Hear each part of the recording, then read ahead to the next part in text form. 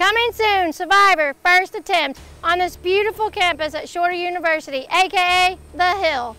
There will be eight survivors, one winner, spring 2024. Let's do this!